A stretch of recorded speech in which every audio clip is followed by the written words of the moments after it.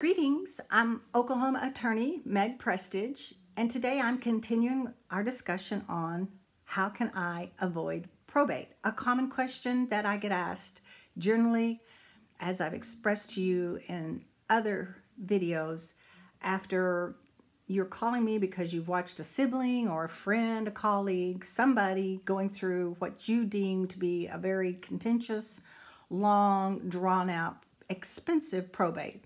So you want to try to avoid that and want to know if there's some ways that you can do that. And there are.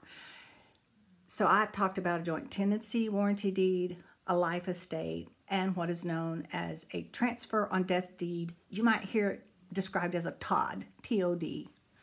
So another way that you can might, and I always say might, avoid probate is the creation of what is known as a living revocable trust. Those are really great instruments. I really like living revocable trust because you can change your beneficiaries, you can amend provisions within that trust until your passing.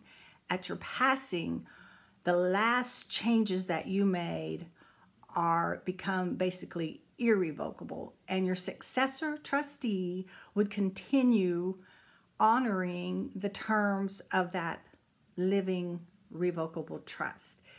If you would like to learn more about living revocable trust, I encourage you to go to www.oklahomawillsandtrust.com and contact me and we can have a, a, discussion. I'll try to answer all your questions as best I can.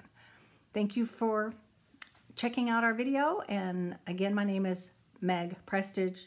I'm an Oklahoma attorney. Have a great day.